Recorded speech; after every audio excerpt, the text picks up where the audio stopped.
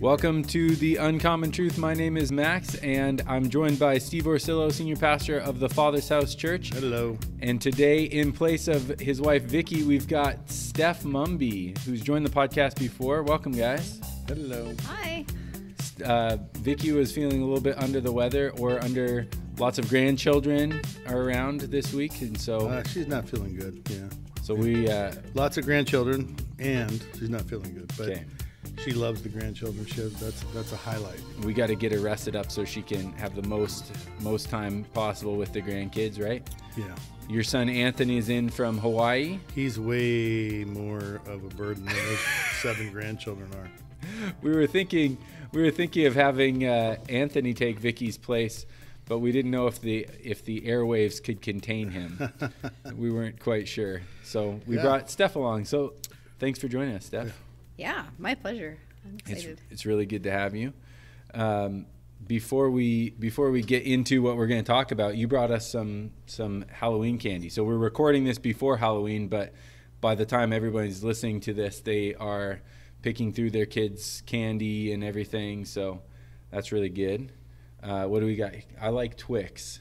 There are Trying two to, Twix. Trying to pawn it Yeah. off See, on Vicki me. Vicki doesn't do chocolate, which I found out through the podcast. She doesn't even like chocolate. Not even chocolate chip cookies. And, which um, is kind of criminal. Steve was going to. He said he wasn't going to partake, but I don't know. We won't. We this is a He- full-on stumbling block. My problem form of a here is the addiction and how often that stuff is around. So It's just lying around Yes. in wait all the time. Yeah, like I have to say no because I am helpless. Yeah. Okay. Well, chocolate. we bring Steph in, and she brings the stumbling blocks right away. First Right thing. away. Right, first I'm, thing. I'm here to test your faith. Yeah. So, so now, we know that. now, Steph, you listen to pretty much every podcast. As many as I can. yep. And so, what do we usually start off with? The first thing Steve and Vicky do on most well, podcasts. the most important thing to point out today is that I was here first, and I was on time, Uh-oh. Yes. and I am representing womankind by right. feeding mankind. Yes. And I was here last, but I still was on time. Oh, no, we, we, Oh, no, I we don't checked. know. You were not on time. On my clock, I was. That's right. You were using that one, huh?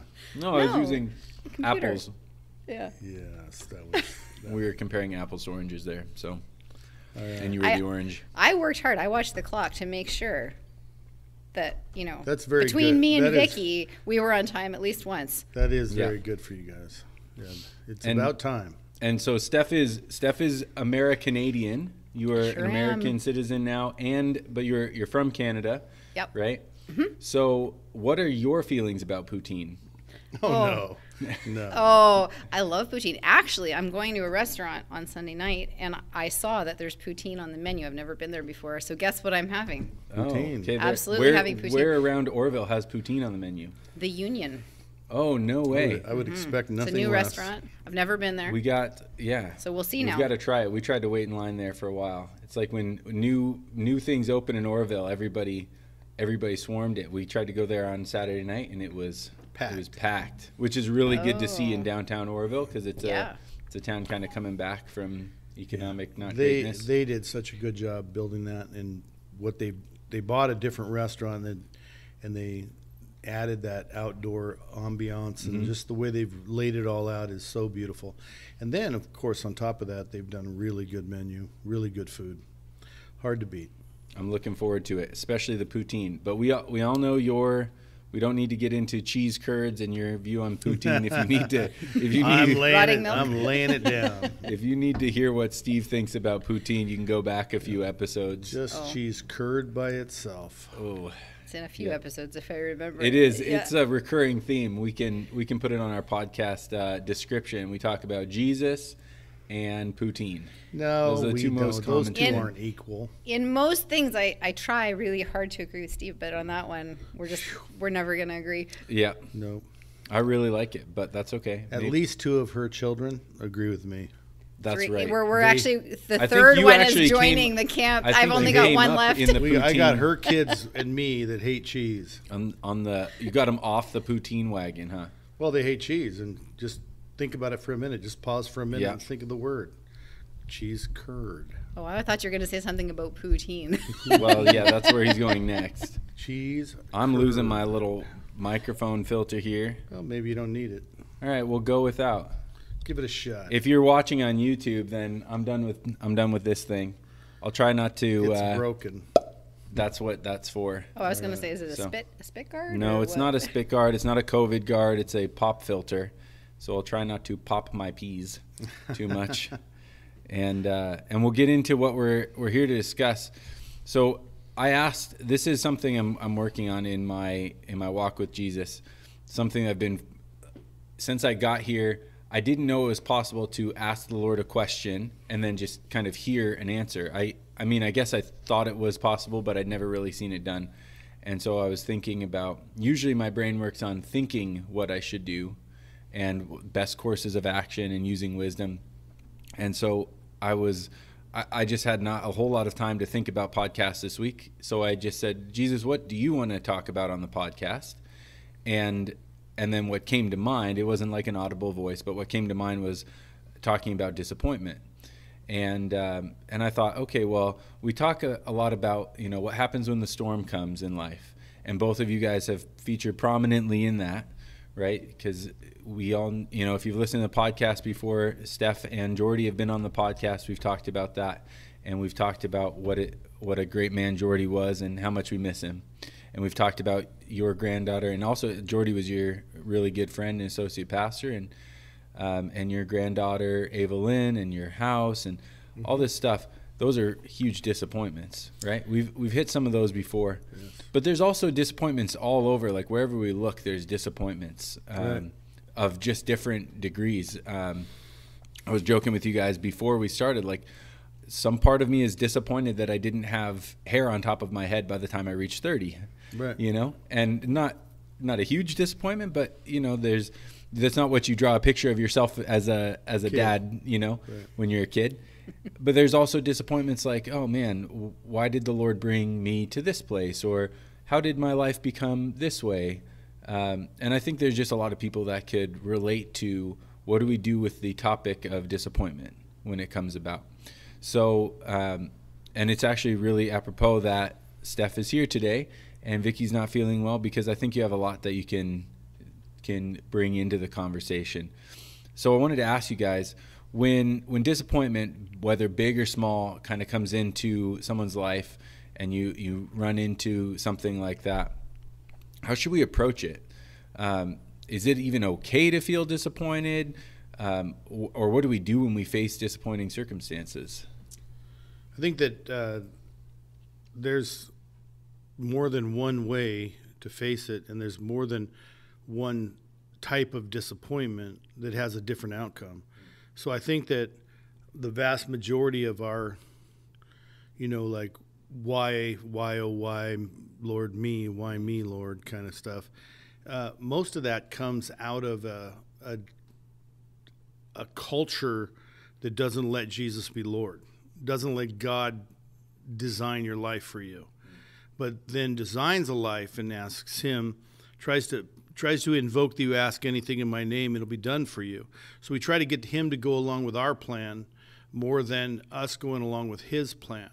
Okay. So then there's the other side, the things that are abrupt, like your house burning down, or your granddaughter or your daughter having leukemia, or your husband dying. Yeah. And, you know, and of course, just any uh, abrupt thing that happens to a grandkid, like she got hit by a car and killed. That's like you had no plan. There's just like you were, you woke up that morning thinking everything is normal. But she got leukemia and fought for three years. I mean, you're struggling for three years to determine is is this are we really doing good by her to put all this radiation in her? Isn't the cure worse than the disease? Hmm. And isn't the suffering worse than death? And so you you battle this all the way through, and the fact that she got leukemia, you battle through, and almost hundred percent of your struggle is is is it okay for him to be Lord, and for your life to have the pitfalls and the blessings because you know if you claim complain about all the pitfalls you got to you got to go ahead and reject the blessings too. Hmm.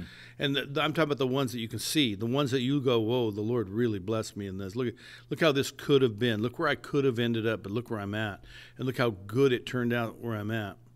And so you got to, you know, if you let him be Lord here, you have to be, let him be Lord over here too. And so there's this this constant battle of disappointment, and and I think we could clear an awful lot of the deck by really struggling out. Is does he get to be the Lord of my life?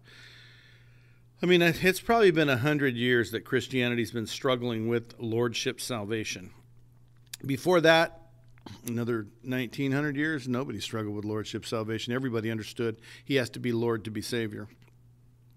But today, we, we've been struggling in Western culture, in modernized, modern religion, uh, whether or not he has to be the Lord. Does he have to be in control of everything? And do we have to believe that he sets our footsteps? Hmm. Like, did he plan for you to be bald, or is that just a DNA accident that happened yeah. through the marriage of people 200 years ago, mm-hmm. and then 190 years ago, and then 170? You know, people kept getting married every 20 years or so, yeah. if I said that right. And you're just the recipient of a DNA cross mixture that caused the young men in your family or to have a high percentage of being bald. And so when it happens, you know, I can imagine because you know I planned to never need glasses. I mean, that was my plan. I declared yeah. it. I'll never need glasses. Turned 40 and I need glasses. I've been wearing glasses since I was 40 now, 24 years. And yeah, I know the struggle I had. Why me, Lord? You know, or why why is my back hurt? Or, mm-hmm. You know, and get into way worse things like cancer, like death, like fire, things you have no control over, like the ocean. You know, you want to hold back the wave, but you got no chance. And so maybe you're better off saying, Lord, I, I accept your lordship and I decided that you're good no matter what happens. And I think that's I don't think we could criticize somebody for struggling through hardship, but in the end, what would be the best thing for them would be to accept his lordship, thank him for the path that you're on, mm-hmm. and ask him to help you get through the hardship. Help me, help me over these humps. Help me around these obstacles. Help me get through this pain. Yeah. Uh, help me love you through it. Help me not sin by doubting you. So I think that might be uh, the best foundational starting point. Of course, there's so much more we can talk about, mm-hmm. but that should be the foundational starting point of lordship salvation is bad things happen to good people and good things happen to bad people and we just have to say Jesus is Lord. This will all be sorted out in the end. Mm. And go from there. So, yeah. Mm-hmm. Yeah, I think I think one of the things that you know really creates disappointment is you know expectation right? We sort of have this expectation, you know, that that I'm going to be the one person on the planet that nothing bad happens to, right. you know. And um, when we are willing to let go of some of those expectations, you know, and that goes into the whole idea of lordship, right? Is my life belongs to you no matter what happens, you know, and that has been my stance for many, many years, long before you know my husband got cancer or even some of the other disappointments. But you know, once those dis- disappointments do happen, you know, I think as, as much as we acknowledge his lordship, and that is the most important part, you know, it is also, as Christians and as humans, important to acknowledge the pain that those disappointments cost, or that, that you know are caused by those disappointments and and it's really the releasing of that pain to our lord you know mm. where and, and he really is the only one that can heal pain you know, we can't heal our own pain, our emotional pain, our physical pain, any of those kinds of pains, and, and He is the only one. So surrendering that pain to Him rather than holding it close, because when we hold it close, you know, then we start to protect ourselves from Him, um, rather than you know giving ourselves to Him. Uh, mm. when you know before we we before Jordy and I had our first uh, baby Jack, we had actually had a miscarriage before that and I didn't realize it until years later, but I had never processed that pain. I'd never released it. And so, what that ended up building up in me is this idea that you can't protect my kids. So, I'm going to protect my kids. Mm. And, and this whole idea of not trusting him. And, and that really only came from not, first of all, acknowledging the disappointment, and second of all, not, you know, opening myself up to him with my pain and saying, you know, I don't understand but I do know that the only one who can heal my pain is you, and you're still good, and you'll still protect me, and you're still going to protect my kids. And I submit myself to your lordship, and I give myself and my children to you, along with the disappointment. Because when we don't acknowledge those things, what we do is we fall into self pity. Mm. And self pity is the enemy of every Christian. Because, you know, then we start to go into this whole entitlement thing. You know, we become very selfish. And, you know, as Christians, we're called to be the exact opposite of that. Yeah.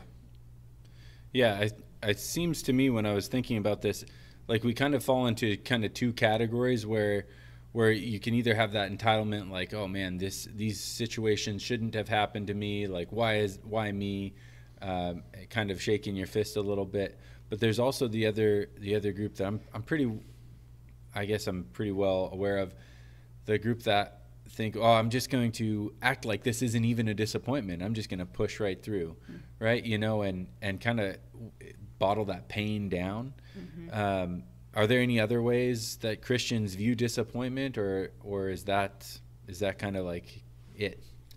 I think that uh, the friends of Job, st- their their attitude that God did not like, um, I think that's still not only still alive and well. It's it's prevalent in today's world that if bad things happen to you, you must have done something wrong because mm. God is just and does not allow that. Yeah. God, you cannot say God did this to you.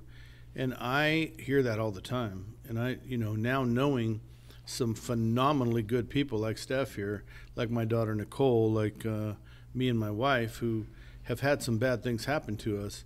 And it's, there's this. I literally had a girl come up to me and say, maybe you're having all these bad things because you're not honest with money. And I'm I like, you have some evidence that I'm not honest with money? Well, no. Just feel like that's what the Holy Spirit's telling me, and I'm I'm thinking, wow.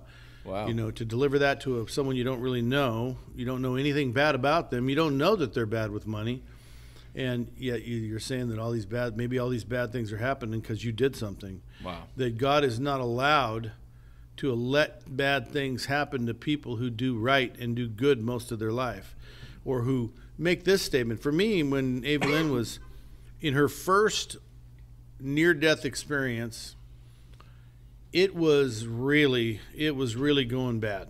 And they really had to drill a hole in her head and relieve pressure, you know, to save her life. And they didn't know they didn't think of that till later, but I was really struggling. Mm-hmm. I was trying so hard not to develop a bad attitude.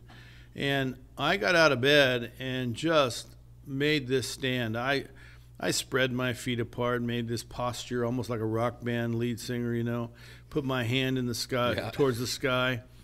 And I said, I have decided a long time ago that you're good. And there is no cancer, there is no disappointment, there is no turn in the tide that's going to make me think different. That nothing has the right to steal my knowledge away from me that you're good no matter what happens to me, come hell or high water, you're good. And I know that I was literally set free. I left the house, came to a staff meeting, had the staff pray for us. I did not have a gift of faith. I, I, I knew what I need is a download of faith from the Lord because I am reeling over this. This little girl Went down to the hospital, had, I mean, it's too long a story to tell, but it was just miraculous faith. And I knew. And, the, and, and even though it wasn't a miraculous laying hands on miracle healing, a neurologist just said, Hey, I have an idea. And she went in there, man, and saved Evelyn's life that day. Boom, it was all over. She was back on track, healing, you know, overcoming, mm-hmm. getting good tests, you know, going into remission. And that was her first time coming out of a near death experience into remission. And, and we, we got an, a whole bunch more time with her. We got to borrow her a little bit longer. Um, and some people would say it would have been better had she died that day because the next two and a half years were, were pretty torturous mm-hmm. medication, mm-hmm. pretty torturous regime in her life of misery, you know. And yet, if you knew her then, you you you knew she was smiling, laughing, praising the Lord, talking to Jesus. Yeah. She was spicy as heck, and and there's a lot of people that came to came through that story the next few years that she was alive. Came to Jesus, yes, right? right. Yeah. And so, uh, it's you know when you look at it, you doesn't God have a right to use my granddaughter and my life, knowing the outcome? You know, really knowing the outcome of our faith. You know, mm-hmm. when Jordy and Stephanie went through what they went through, not, there wasn't a guess of the outcome. God saw the outcome from the beginning, and none of us lost our faith over Ava Lynn. Ava Lynn didn't lose her place in heaven. She didn't lose her innocence, and in the overall picture of eternal perspective really this was a really great event. But in my plans for my life, my preconceived notion of how blessings Those should expectations from my faithfulness and my generosity and my energy and my joy, mm. I ought to have an outcome that is more blessed from my opinion than blessed from his opinion. Yeah. And you get caught up in that. And so you have to make these declarations and you have to say, you have to remember what you believe. You don't have to make anything up. You just have to remember what it, you believe and what is true. Mm-hmm. And I think that's pretty good. Yeah, no, I would I would just add to that, you know, and and reiterate this exact same thing, which is just that, you know, if he's good, then he's good. Then he's good. And we don't. That doesn't change based on circumstance, um, and we can't allow circumstance to determine who he is. And because of that, then you know our circumstances don't necessarily have to line up with what we think, but they have to line up with he's good. And so then you have to filter your process through he is good, and he gave us a will. You know, he yeah. gave us free will, and that free will allows us to say, I choose that he's good. It doesn't matter what my feelings say, it doesn't matter what my circumstances say, it doesn't matter what anything else on planet Earth says. If he's good, then he's good. And if I don't feel like that's true, then it's my job to work through those feelings until I do feel that he's good. Or even if I don't feel that he's good, I can choose that he's good and allow him to walk me through the process of healing from that pain. Because ultimately, you know, he doesn't change and yeah. he also didn't promise us a life, you know, that that was going to be free from pain. And and that is a huge uh, misnomer, especially from you know my generation, and maybe even Steve's and a little bit you, you know younger, just because you know we haven't as a as a generation sort of that's on Earth today, we haven't gone through, especially in North America, you know, all that many huge traumas and crises yeah. as, no. as kind of a nation. You know, I think World War II would have been the last really big one. You know, so we sort of just have this idea that you know we've become so enlightened. You know, in our technology in our modernness, that we just will never experience suffering again, and that's that is just not biblical. Yeah. You know, God talks a lot about suffering in the Bible. Mm-hmm. You know, Paul talks about it. Peter talks about it. You know. Yeah. And you know, so ultimately the people that have gone before us have determined that God was good despite their circumstances. Right. And often, often that that character building that comes from it um, because of their circumstances, right? Yeah, hugely. Um, I want to get to that because Jesus definitely faced disappointment while he was on earth. But before we get there, I want to ask you both: What happens if we don't deal with our disappointments well? Like, what's at stake here for I mean, I'm talking little things like because I can fight that like, uh, oh man, I I didn't expect to be in Oroville, you know. I, I really did. That wasn't. I've never been a big expectations guy. Mm-hmm. Like I'm going to be here in 10 years, or I'm going to be here in 15 years, or this is what my life is going to look like. But if I, even if I had been, I wouldn't have drawn up Oroville in the plans, right? Well, no, me neither would I. And uh, and most of the time, I'm like, man, I, I love this place. I, am so glad to be here. But there's days where it's like, man, I didn't draw this up. So, right? so, so, if living in Oroville is your greatest disappointment, man, you have had one blessed That's life. true. be honest with you, because yeah. Oroville's a phenomenal place to live. Yeah. And we just, it's our misconceptions that make us think it's bad mm. when we're coming here. Yeah. But living here, all of a sudden, you realize that's pretty good. I, I, I tend to pinch myself, wonder – I do tend to be in a good mood most of my most most minutes of the day, mm-hmm. and I, and people ask me all the time, "How you doing?" And I'm genuinely answering, you know, I'm doing awesome because I just walk around happy, and I don't really know how that ever occurred because it's not the nature. It's yeah. not the nature.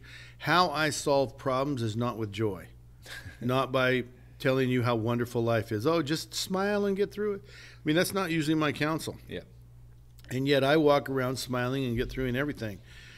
I think that, you know, the outcome of not having this attitude is that we end up bitter. We end up crying a lot of tears. We just the the the you lose your child, you're going to have the majority of your time is going to be miserable. You lose your husband, and a good portion of your time is going to be miserable for a long season. Mm-hmm. You and me, we don't have any reason to have that many. You know, mine's a granddaughter, so my time being miserable, what's okay and acceptable for me, is quite a bit shorter than my daughter's and quite yeah. a bit less than Stephanie's. Yeah. And I mean, you just it's almost quantified by almost measured out that I think that if, if you don't go through your disappointments with an expectation that God is good and an understanding that you're living his will, he's Lord, then your day-to-day life that comes out of it when my daughter finally she'll never forget it'll never be okay i'm not right. saying that but she will tend to get on with life mm-hmm. stephanie gets on with life at a way more of a percentage than than the people who lost their kid. Mm-hmm. But she still has her dark moments, and then you know each each crisis we have a shorter period. But if we didn't deal with it by accepting His lordship, looking at His will, looking at His goodness, and just not deciding, not us making Him good, but just remembering that He's good, and and going ahead and accepting the truth that He mm-hmm. is good and that He has a plan for us. And in the end, all things are going to work out for good for those who love Him. We will not get there if we never if we never learn to face our disappointments in this manner to where we begin to look at the truth of who he is that he gets to be lord and this is my life and even though these bad things happened my life is going to be good yeah. my life is good and all of a sudden wonder well i wonder why i have so much joy I'm supposed to be miserable. My husband died. I'm supposed to be miserable. My granddaughter died. Mm-hmm. Is it okay? Is it suitable? Is it okay for me to not be mourning anymore? And we ask ourselves these questions based on whatever tragedy we've faced. Yeah. My house burned down. Am I supposed to be on the news telling them I'm excited about the future? Not according to the news. Not according to the news, right? So when you face it with goodness, you're mourning. You know, I, I, I you know, in private I still to this day wonder how my house burnt down, mm-hmm. and have to ever and remind myself, well, it was his house, mm-hmm. and what am I? What am I even? Why do I consider that to even be a negative? It turned out so good. Yeah, and so you know, in each aspect of our life, when He causes all things to come together for the good for those who love Him and are called according to His purpose, when we finally see the outcome, and we look back on it then how come the very next tragedy we don't then do it better? Yeah, we got you know, like goldfish brains. We have, but what we have is a society telling us that that's not the way you look at it. Yeah. Right. Yeah. Um, I think that for me, you know, I, I, I live according to the promise that He'll give you joy for mourning. Yeah. You know, in my situation. Right. You know, I, I count on that every single day. Um, but I think you know the outcome of, of disappointment that is not dealt with, um, you know, can come all the way to the loss of salvation. You mm. know, and I know that's kind of we won't get into the idea of loss of salvation exactly but you know this idea that you know our hearts start to become hard and steve alluded to that with the idea of bitterness but we start to get into this idea that we have to protect ourselves from god you know who is meant to be our source. You know he is love and if he's love then we have to have that. You know we have to have that to live and breathe and be alive you know in him. And it you know it talks in in first peter you know it, about trials you know and so that's something that i hang on to a lot you know and it says that the proof of your faith which is more precious than gold which is perishable even though it's tested will result in the praise glory and honor of the revelation of jesus himself you know mm. so our trials actually cause the revelation of jesus or you know, then it, it, can go the opposite, which is then that we actually fall away from Jesus because, you know, the end of those verses is basically, you know, that because the faith is so important that is now being uh, created through our trials, through our disappointments, you know, the outcome of that faith is the salvation of your souls, is what Peter says. Mm. You know, so if if trials produce faith, then we're we're gaining salvation. On the other hand, you know, if trials produce uh, not faith, yeah, you know, then we're actually, yeah. you know, we become in danger of walking away from salvation. Yeah. And that's that's a really big thing. So, you know, just burying them and pretending that they're not there really doesn't help because Mm-hmm. it then separates us from him.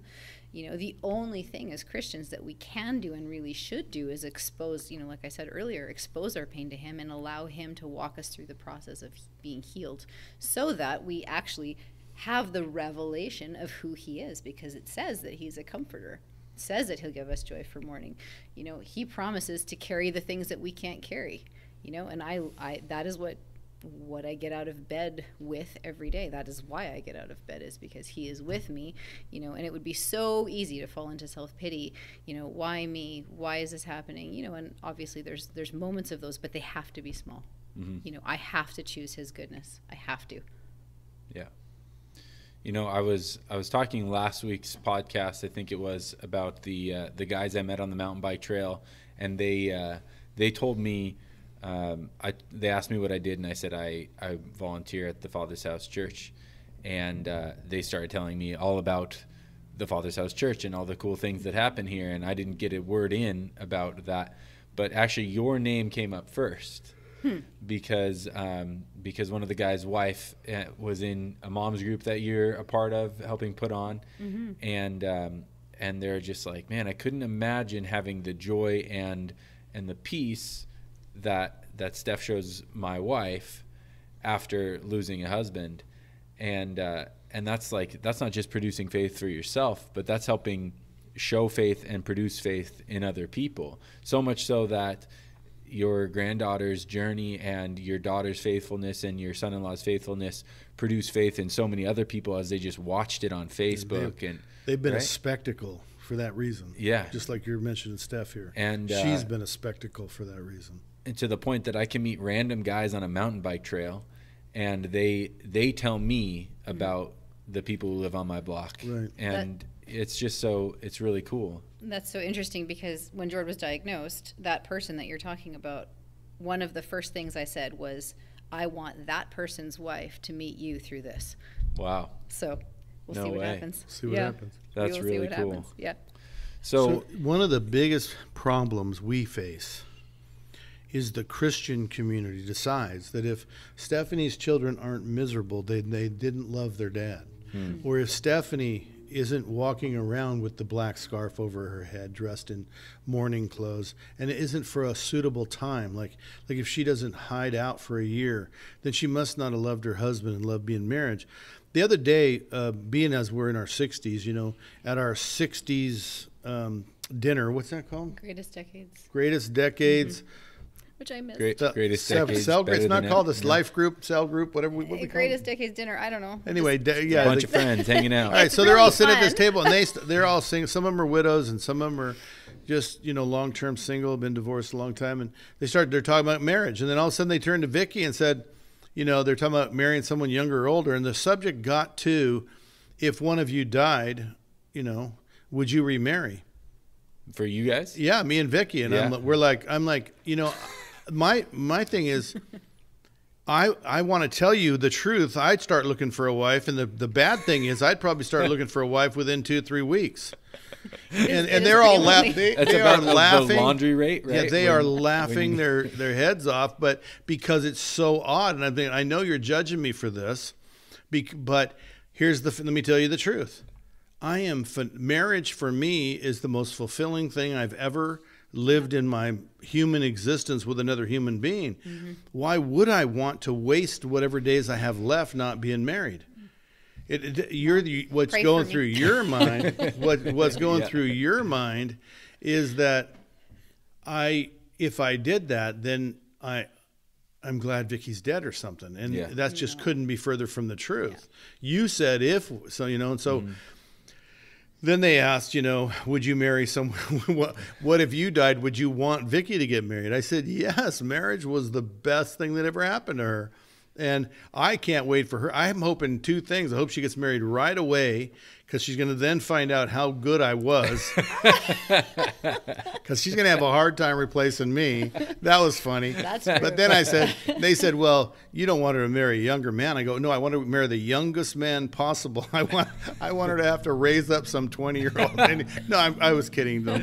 yeah but like people is have so many preconceived ideas. Somewhere Vicki's feeling a little bit, a little bit upset right now. This is- Just- this No, what she- happens when Vicki she was come. there. She Yeah. was there at the dinner. She we were laughing. She misses one because episode it's funny. Steve's already I say that to her all the replacements. time. You know, she says she has a rule that I can't marry someone that's not a certain age, and I I have a rule that I want her to marry someone young. So Yeah. she's she's. I'm, anyways, it's Yeah. more of a She doesn't have joke. to go through it twice. How about Yeah, I want you to have to deal with some young guy. Yep. You- It's hard to believe how much age, you know, how how good getting old is. You know, we mm-hmm. complain about it, but I think that that's the preconceived ideas of all these things allow us these jokes and allow us these ideas that if if you're not miserable, then you didn't really value what you lost. And it's not true. Mm-hmm. Not even close. It's i not only value it i'm so grateful for having had it. Mm-hmm. And there's so many magical things about it that i i don't want to spend the rest of my life mourning its loss. I want to spend the rest of my life celebrating what i had. Mm-hmm. That i got to have it. Yeah. and i think that this name it, claim it kind of mentality that Christianity is all about God's blessing, and His blessing is only defined one way, is it's it's it leads us into an inability to enjoy life with good and bad in it. We can only enjoy life if only good's in it, and I think that robs us of the ability to enjoy a life that has uh, rainy days and has has pitfalls and Yeah. unexpected, you know, misery. Because it is miserable. There's nothing fun about what they went with her and my daughter went through in this Yeah. life, mm-hmm. for and or going through. Mm-hmm. But how will you come out of it? How will, how will you present it to the world? You know, Job's friends presented it that God is this way, and it made God mad. I hope that's not still true about him because we need to present him for who he is, and who he is is he's good, even when bad things are happening in my life. My neighbor has free will to shoot at me, and that's not God's fault. He has free will to be evil if he wants to be. My neighbor has free will to do bad things, and um, it's going to affect me. But does that mean God's not good? Does that mean God didn't plan good for me? I think it. I think it doesn't have anything to do with it. I think He's Right. good, and I have to learn how to love Him, serve Him, and trust Him, regardless of what happens in my life. Yeah. You know, it's the biggest thing that's striking me about this conversation. If I think about uh, who I was and where I was before I started coming to the Father's house, I don't think I would have ever dreamed that I'd be talking to to people have been that talking plainly to people who have been through, especially what you've been through, Steph, and and still be able to to joke and still be able to like see the smile on your face and everything. Um, I think there's a lot of people in Christianity that feel really alone with their disappointments because they, I mean, honestly, I never knew how to talk to people about their disappointments Yeah. until I came here. Made it real uncomfortable. because I mean, and I don't feel uncomfortable right now because you're a good friend and you're a good friend, and I, you know, like I know this isn't. I know I'm not pulling teeth to get you guys to talk. This is your your joy to Yeah. to share with people, and it's something that's really going to lift up people who listen. Um, and and I think I understand that's because you understand both of you guys. You're put on this earth to tell people about Jesus That's right. and you like this is what is going to be something that's going to turn people towards Jesus or help people to be closer to him. Right. But I, I still think there's so many people out there that just it's either something they struggle with alone or I mean it's something that they're they're surrounded by people that are acquaintances but not really, mm-hmm. you know, close enough to talk to, right? Yeah, the aloneness is that that is the enemy's biggest trap. You know, for any of us that experience disappointment is this idea that, you know, no one understands. Nobody understands. Nobody but me. So no one can possibly, you know, reach in. I can't ever I, I can't open up about how I feel because no one's going to understand anyway or no one cares or, you know, this any any time that he can isolate us, you know, from the love Yeah. of people or the love of God. But, you know, I have found that every time I choose the opposite of that, because you know that that trap is laying waiting for me every day. Yeah. you know, every time I choose to open myself up and just you know be vulnerable and allow people to see that intimate place inside of me, you know, or or even the idea of you know nobody understands.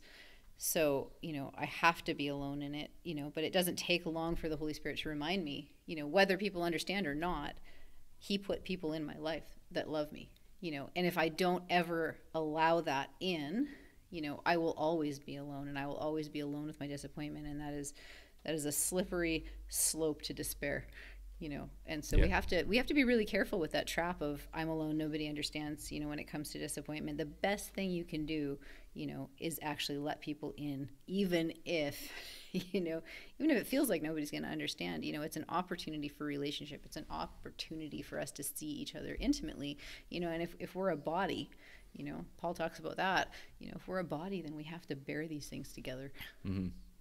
yeah I highly recommend support groups of people who do understand you.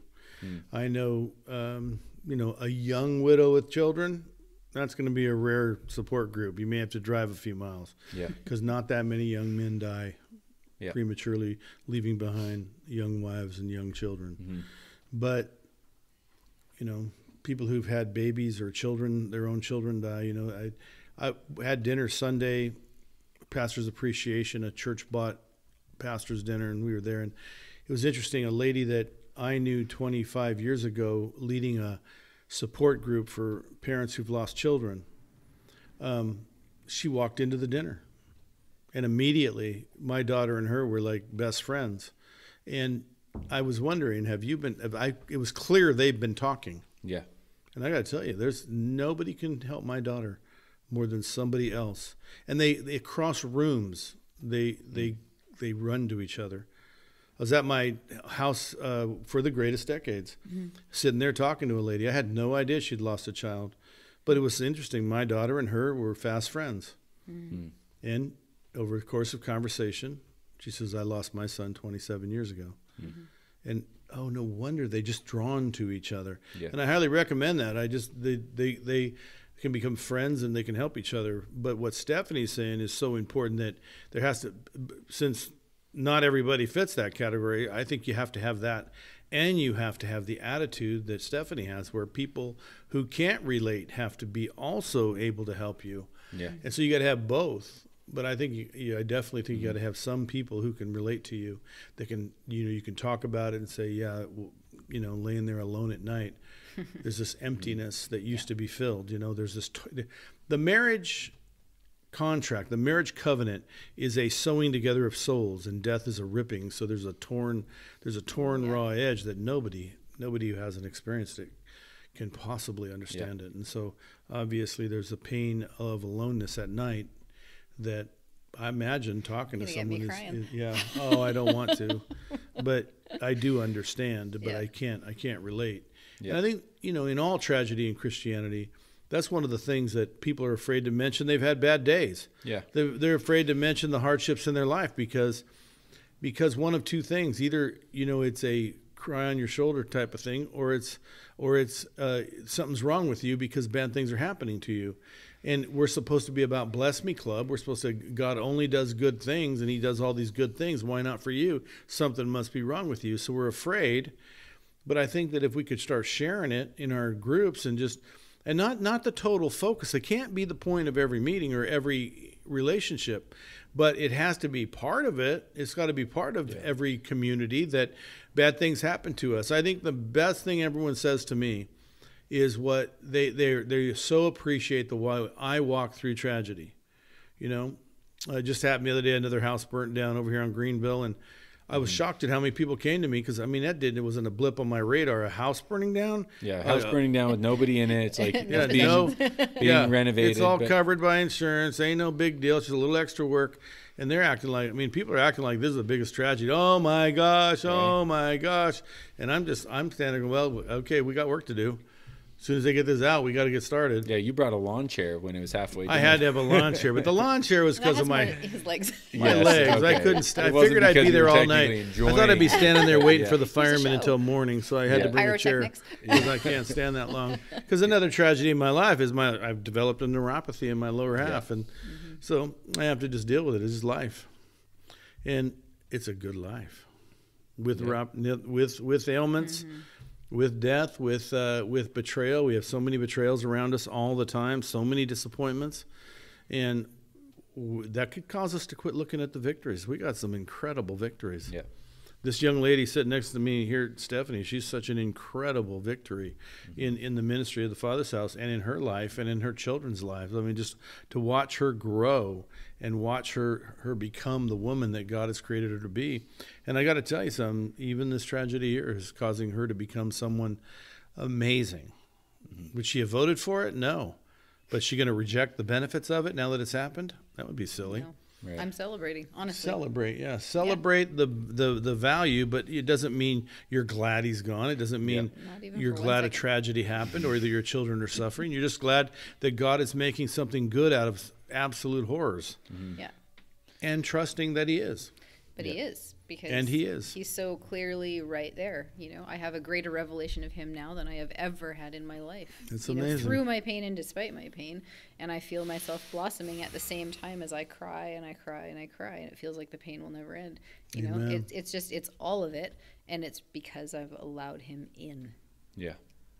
Well, I think a really good, a really good uh, example for the right way to deal with disappointment and huge disappointment is actually Jesus Himself, right? Because we we sometimes if if we don't spend time reading what he his life was actually like, you kind of you kind of forget that his life I mean, if you're going to draw up a, how to be in your actual life, how to be successful, you're not going to tick a lot of the boxes that he ticked. He was, you know, rejected by the people that that he came to save. Uh, even his like closest friends struggled to believe and have faith, And they fled. They betrayed him, you know, and uh, and the whole point of his life was to die on a cross, right? And like that was the pinnacle of his life.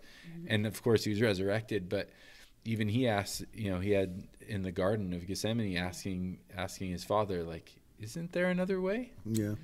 But then the point was, if I mean, if there's not, then Your your, will. will. be done, right? Mm-hmm. And that goes right back to lordship, Right. Yeah, right? and submission, really. I think his biggest disappointment was when he would say, How long must I put up with you? yeah, That's my greatest fear. I don't want to hear those words. Yeah. I'm hoping if he's saying that, then those are those days when I can't hear his voice because that, that would be horrible to have Jesus say, "How long do I have to put up with you, Steve?" yeah, I I am hoping forever. yeah, Mm-hmm. right. I'm hoping forever. Yeah. Yeah.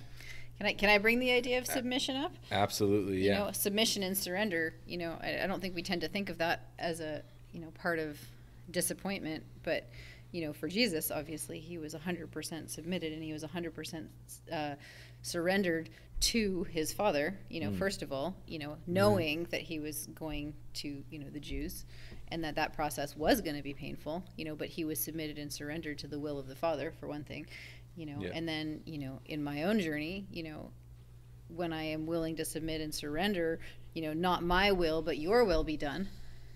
You know, uh, God, God told me, you know, or the Holy Spirit told me, you know, after George died, that was the greatest prayer I prayed. You know, while George was sick, was not my will, but your will be done. Didn't all the healing prayers, all the, you know, help me, help me, heal him, do what I want. Um, you know, the the greatest prayer was, not my will, yeah. your will. In Jordy's words, And Jesus, do whatever. Yeah, Jordan. Yeah, that was exactly. Jordan always said, "Do Just do whatever." whatever. You know, and you know, if we can continue that process, and you know, I I brought it up with a really big situation, but I do it on a you know almost probably daily basis. I'm sure you do too. You know, in some form, saying, "Okay, you know, this isn't my thing. This is your thing." You know, this isn't my life. This is your life. These aren't my kids. These are your kids. This isn't my car, my house, my stuff, my money. Yeah. You know, and it's just if, if we continue in that posture of, you know, this is not, my life is not my own. Paul, that's what Paul said, right? My life is not my own. Mhm. And and if that's our our attitude, we are gonna always, you know, find the lordship. We're gonna find out who he is, and we're gonna Yeah. be better for it. Yeah. Um, even when it comes down to disappointments, right? He he told us what to expect. It's not if the storm comes; it's When. when, the storm comes. Is your house going to be built on the rock? And um, he said, "This world is going to be troubled." What did I say wrong? You're Nothing. no okay. In the world, you'll have tribulation, Yeah, you'll have you'll have difficulties, and heart. but be of good cheer. because he's overcome the world. He's world. overcome the world. That's right. And that's our short sightedness that we Yeah. really see if I'm going to live 20 years from now, I would be fairly old. If I'm going to live 25, I'm getting real old. And uh, so I only have, you know, I certainly am older than 25, so I'm past halfway. Mm-hmm. And we tend to think of that as this horridly long time that, you know, if, if it's bad, it's so bad. But then add that to eternity. You know, eternity goes on forever. I love Francis Chan's rope, you know, that starts outside the building, goes all through his in and out, you know, and Yeah. this this thing has no end. And your life is this knot to this knot. And Mm. and uh, look how short that is. And you're complaining about the events occurring in a knot in, in the size this big Yeah. when you're going to live on forever. So the eternal perspective of these situations is what we lack and what keeps us worrying about things like the legacy we're going to leave. I mean, mm-hmm. what? You know, in the long run, we're going to spend eternity with our legacy. Those we influence to find Jesus, those we lead to Him, those we don't cause to turn away. We don't inflict on them hypocrisy and cause mm-hmm. them to turn away. And that, that's your legacy. That's that's what your life should be about. And I think people seeing you go through hardship and saying, "Man, I can't believe your faith. Your faith is inspiring me." That's a good deal. That's an eternal perspective right there. We want to we want to inspire you to eternal life.